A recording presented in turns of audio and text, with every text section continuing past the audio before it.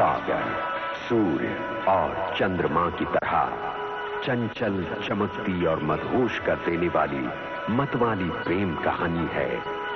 चंद्रकांता एक इंतकामी, दहकती प्रेम कहानी है। चंद्रकांता। सुलगती हैरत अंगेज प्रेम कहानी है ये चंद्र चंद्रकांता। अपने बहते खून से शब्या पंडित जगन्नाथ के लिए मंदिर की पवित्र फर्श पर ये आखिरी इबारत अंकित करती है। होनी प्रबल होती है। शब्या कहना कुछ और चाहती थी, लेकिन उसके हाथों ने इतफाक से कातिल का अहम नाम मिटाकर कह दिया कुछ और। नतीजा, शनि के बजाय पंडित जगन्नाथ के खिलाफ चीखता है शब्या के खून से लिखा ये आखिरी पैर पंडित जगन्नाथ। ये कठोर इत्तेफाक था लेकिन इस वक्त सारे सबूतों ने पंडित जगन्नाथ पर निशाना साध दिया। तो आप है हमारी बहन के कातिल सभ्या के हत्यारे। अब इसमें हमें कोई संदेह नहीं। इसीलिए सभ्या बार बार आपकी तरफ़ इशारा कर रही थी। और ये और ये रहा सबूत। पंडित जगन्नाथ असगर की जालसाजी और पुजारी की गलत फहमी में घिरे बयान की वजह से एक और जघन्य आरोप का शिकार बन जाते हैं। वो है शब्या से विवाह करने का कलंक। पंडित जगन्नाथ तुम एक हत्यारे ही नहीं। मनुष्य के भेद से एक राक्षस हो राक्षस। और मानस हो। महारानी पंडित जगन्नाथ जैसे ईमानदार और बेदाग इंसान को जो कठोर हुक्म जारी करती है। पंडित जगन्नाथ तुम्हें सभ्या की हत्या की कीमत तो चुकानी ही पड़ेगी। और हमने फैसला किया है कि तुम्हें सारे शाही हिरासत में ले लिया जाए। इस आदेश से हासिल हुई दुश्मन को बे कामयाबी और पंडित जगन्नाथ को हासिल हुई इंतहाई पीड़ा रुसवाई और हिरासत की जिल्लत। तेज सिंह और केतकी को कबीले के दलपति के आदेश से इससे भी भयानक दंड और जिल्लत मुकम्मिल हुए। इनका मौत का कुआँ दो मौत के कुएँ में तेज सिंह और केतकी कबीले के कानून के फैसले के तहत ज़िंदगी और मौत की जद्दोजहद से रहे हैं जूझ। अंततः इस जद्दोजहद की गर्दिश से तेज सिंह ने तराशा अपने हक में आज़ादी का नतीजा लेकिन इस आज़ादी की मंजिल के बीच उन्हें फिर से खड़ी मिली एक कठिन अड़चन। दलपति देवता तुम फिर भागने का कोशिश किया हिम्मत किया। दलपति देवता से ऐसा हिम्मत मुनासिब नहीं। लेकिन किस्मत ने इस बार तेज सिंह और केतकी का दिया साथ। सजा देने के बजाय कबीले के कानून के खिलाफ उन्हें फरार होने की इजाज़त हो जाती है नसीब, दलपति देवता की बदौलत। लेकिन किस्मत ने एक बार फिर से तेज सिंह और केतकी के दामन में डाल दी जुदाई और शोक की घड़ियाँ। आज़ादी की दिशा में बढ़ते तेज सिंह और केतकी के तनिक फासले का फ़ायदा उठाकर दलपति देवता का बेटा शाकालपति केतकी को मौके से दबोच कर कर लेता है अगुआ। अगुआ करने शब्या की लाश को जलती चिता से पहुँचता है तारा का खतरनाक खिदमतगार अजगर। अंतिम संस्कार संपन्न होने से पहले ही अजगर एक भयानक विस्फोट के माध्यम से दहशत फैलाकर लाश को कर लेता है अपने कब्जे में। इन सारे वाकयात से महारानी कलावती महाराज शिवदत्त को करवाती हैं अवगत और अपने फैसले की देती हैं जानकारी। हमारे आदेश अनुसार कातिल गिरफ़्तार कर दिया गया है। कौन है वो मरतूत गुनहगार? वो और कोई नहीं। आपका सबसे वफादार सबसे प्रिय पंडित जगन्नाथ। महारानी!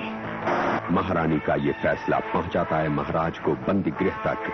पंडित जगन्नाथ की ज़ुबान से मालूम करने असलियत शिवदत्त को एकांत चाहिए।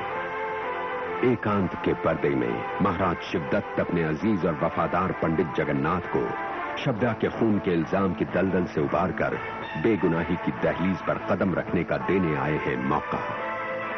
और फिर ये मेरा दुर्भाग्य है महाराज। सारे ठोस सबूत सभ्या के साथ ही दफन हो चुके हैं। लेकिन दफन होने से पहले सभ्या के खून ने तुम्हारे खिलाफ सबूतों की एक फहरिस्त दर्ज कर दी। वो सबूत नहीं महाराज। वो गलतफहमी है या फिर जालसाजी है महाराज जिसकी वजह से मुझ पर यह अन्याय हुआ है। पंडित जगन्नाथ महारानी कलावती के फैसले और आदेश पर कोई भी तोहमत लगाना शिवदत्त को मंजूर नहीं। लेकिन तुम्हारे लिए शिवदत्त के दिल में जो जगह है जो इज़्ज़त है, उसके मद्देनजर शिवदत्त तुम्हें दो दिन का वक्त देता है, ताकि तुम अपने बचाव के हक में जो सबूत पेश करना चाहो कर सकते हो। और इस काम के लिए तुम किसी की मदद भी ले सकते हो। महाराज, मैं आपका शुक्रगुजार हूँ कि आपने मुझे बेगुनाह साबित होने का अवसर दिया। अगर इस अवसर का फ़ायदा नहीं उठाए पंडित जगन्नाथ तो तुम्हें शिव शिवदत्त के फौलादी फैसले का सामना भी करना पड़ेगा। और वो है मौत।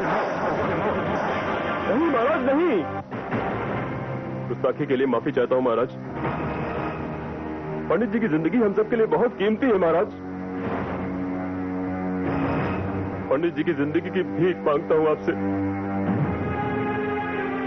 पंडित जी की ज़िंदगी की भीख दे दीजिए हमें, महाराज। दया कीजिए, महाराज। खामोश। खामोश हो जाओ तुम लोग। अपनी भावनाओं को काबू में रखो। महाराज के उसूलों को, भावनाओं की बंदी से मजबूर मत करो। शिव तक चाहे या न चाहे। लेकिन चुनारगढ़ का महाराज होने के नाते, शिव शिवदत्त को यह दायित्व निभाना ही पड़ेगा।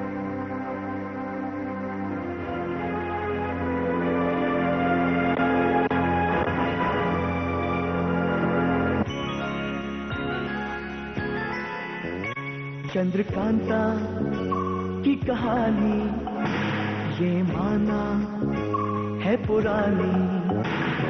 नौगढ़ विजयगढ़ में थी तकरार नौगढ़ कथा जो राजकुमार चंद्रकांता से करता था प्यार। चंद्रकांता से करता था प्यार। शनि प्रतिघात के लिए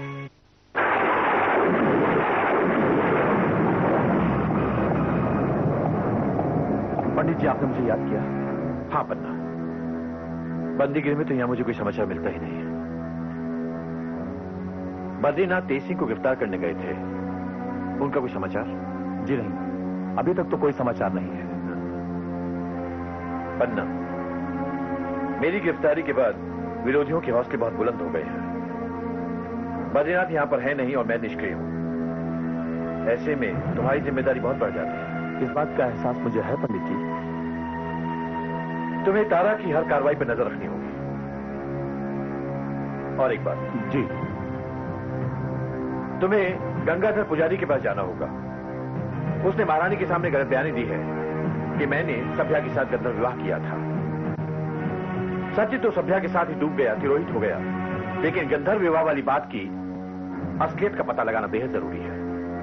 पंडित जी, आप पर लगाए हुए जितने भी झूठे आरोप हैं, उन सब की जानकारी मुझे है। इसीलिए झूठे आरोपों की श्रृंखला का टूटना बेहद ज़रूरी है। एक कड़ी टूटेगी तो इल्जामों की जंजीर अपने आप बिखर जाएगी। पंडित जी, मैं इस झूठ और फरेब की जंजीर को तोड़ने की पूरी कोशिश करूँगा। एक बात का ध्यान रखना। बद्री की गैरहाजिरी में जालसाजी के जाल को काटना आसान नहीं होगा। केवल एक ही आदमी बद्री की जगह ले सकता है। और वो है मेरा भाई शमी। लेकिन उसका पता ही नहीं। मैं मालूम करता हूँ पंडित जी। पन्ना भाई होने के नाते ऐसे कठिन समय में उसे मेरा साथ देना चाहिए था। और वो मुझसे मिलने तक नहीं आया।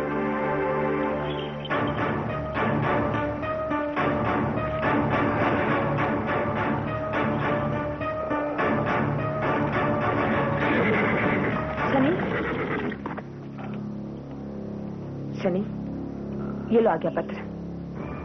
इसमें महाराज की मोहर लगी हुई है। इतनी दौलत के साथ अब तुम चुनारगढ़ की सीमा आसानी से पार कर सकते हो। अब तुम्हें कोई नहीं रोकेगा।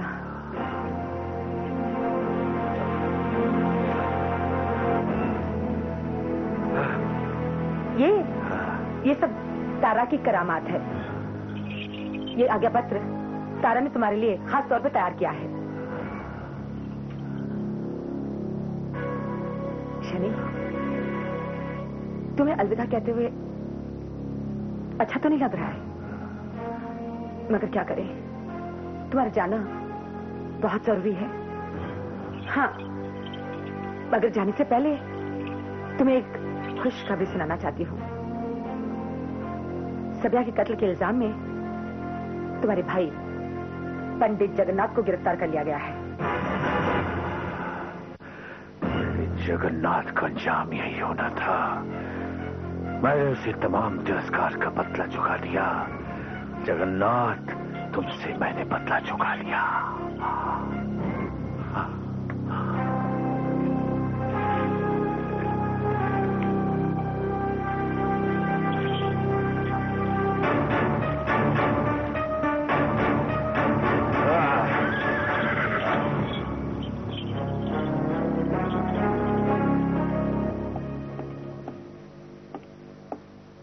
पंडित जी शनि अपने कक्ष में नहीं है। शनि अपने कक्ष में नहीं? हाँ उसका कक्ष बिल्कुल खाली पड़ा है। खाली पड़ा है। लेकिन उसके कक्ष से ये छोटा सा संदूक प्राप्त हुआ है। ये संदूक? क्या हो सकता है इसमें? क्या पंडित पन्नालाल इसमें इसमें कुछ ऐसी वस्तु है जो मेरी दृष्टि में बहुत महत्वपूर्ण है। तुम फ़ौरन उस पुजारी के पास जाओ। जो आ फूलों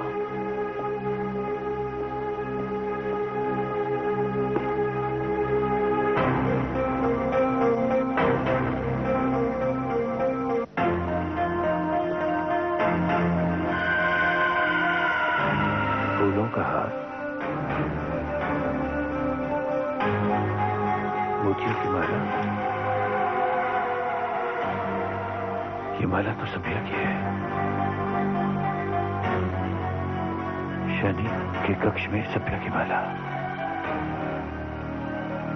शनि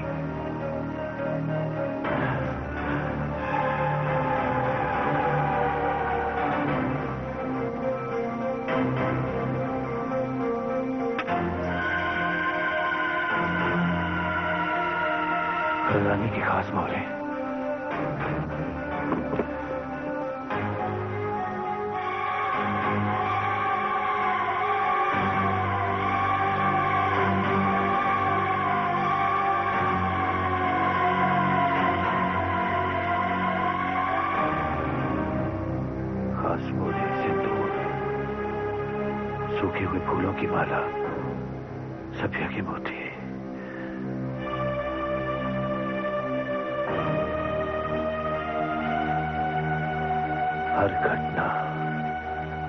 और हर वस्तु चीख चीख कर मेरे हर प्रश्न का उत्तर दे रही है।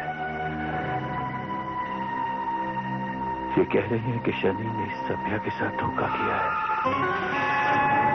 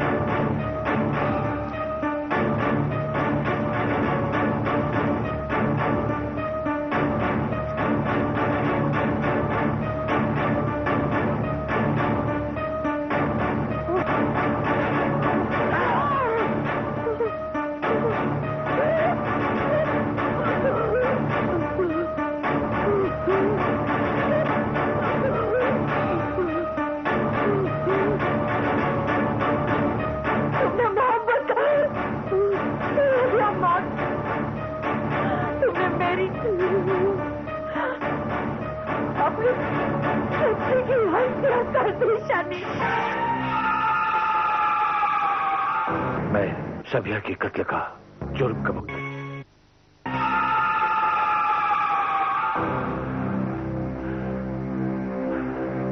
शनि को मैंने जवाब दिलाने का मौका दिया। ये मेरी पहली पहली गलती थी।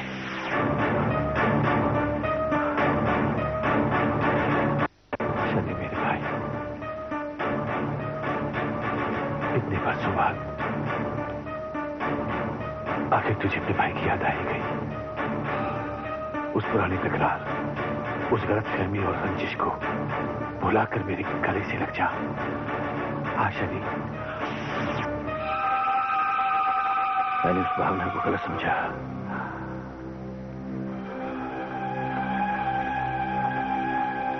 मैंने समझा कि शनि ने मुझे माफ़ कर दिया। लेकिन शनि चुनारगढ़ भाई की कोमल भावनाओं की पूर्ति के लिए नहीं, शनि प्रतिघात के लिए आया था। केवल प्रतिघात। और बात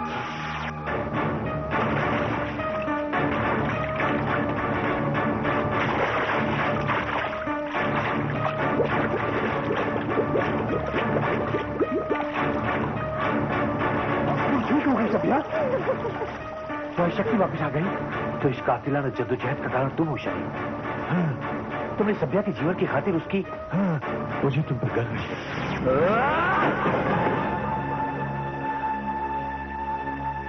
शनि ने सभ्या की जान नहीं बचाई। उस पर कातिलाना हमला किया था।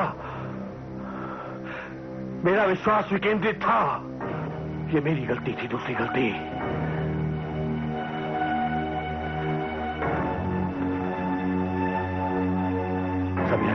साथ साथ तारा और भी शक्तिशाली हो गई है। सभ्या की मौत के साथ तारा के षड्यंत्रों के सारे रास्ता दफन हो गए। ये चिनारगढ़ का दुर्भाग्य है। और ये मेरी गलती। कसूरवार मैं हूँ। शनि के सारे कुकर्मों का प्रायश्चित मुझे करना होगा। मैं हूँ अपराधी। चंद्र सिंह जी पंडित जी। महाराज से कहो कि मुझे अभी और इसी वक्त उनसे मिलना है। जो होगी।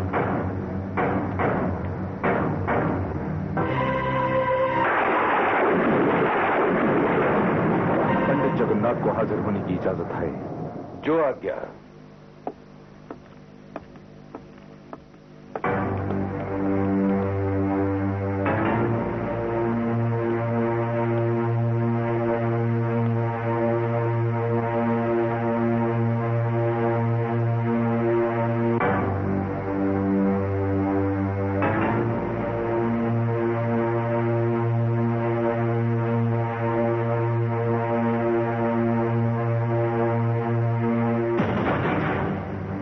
इजाज़त हो तो मैं अपना बयान देने के लिए तैयार हूँ।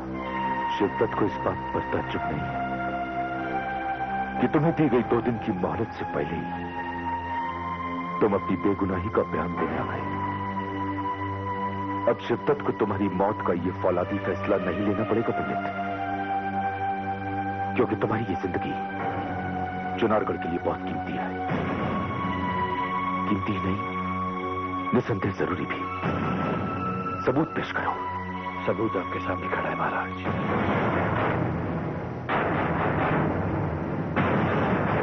मैं सभ्या के कत्ल का जुर्म कबूल करता हूँ, महाराज।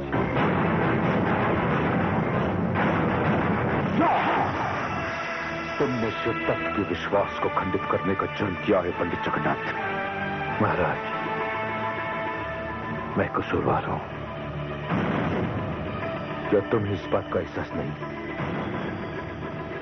कि तुमने अपने जुर्म को कबूल करके अपनी ही मौत को दावत दे दी। जी महाराज। पंडित जगन्नाथ, खुद को कसूरवार मानकर तुम इंसाफ के जमीर पर दस्तक दे रहे हो। शिवदत्त के सामने अपने जुर्म का इकबाल करने का अंजाम समझते हो। चलते हो। जी महाराज। शिवदत्त के सामने इस इकबाल या बयान के बाद किसी गवाह की ज़रूरत नहीं होगी। तब क्या तुम्हें मालूम है पंडित जगन्नाथ, कि कानून के सख्त कदमों को शिवदत्त भी थम नहीं पाएगा? महाराज, आपके इस कानून का सख्त से सख्त वार भी मुझे मंजूर है, क्योंकि मैं कसूरवार हूँ। पंडित जगन्नाथ, तुम झूठ बोल रहे हो। झूठ बोल रहे हो तुम। महाराज तुमने शिवदत्त के विश्वास को खंडित किया है। तुमने शिवदत्त के यकीन पर चोट की है। तुमने शिवदत्त के एतबार की तोहिन की है, पंडित। शिवदत्त ये जानना चाहता है, पंडित, कि आखिर वो तुम्हारी कौन सी मजबूरी है? जो शिवदत्त की जज्बातों की बेकदरी करके तुम्हें जिद की हदों तक धकेल रही है। क्यों, पंडित? आखिर क्यों? इसके बावजूद पंडित, शिव तक ये मन से इनकार करता है कि तुमने सभ्य का कत्ल किया है। और सुनाइए, खामोशी से भरी हुई गुस्ताखी। अगर ऐसी गुस्ताखी करने वाला कोई और होता ना पंडित तो वो अभी तक ज़िंदा नहीं रहता। चले जाओ पंडित। चले जाओ।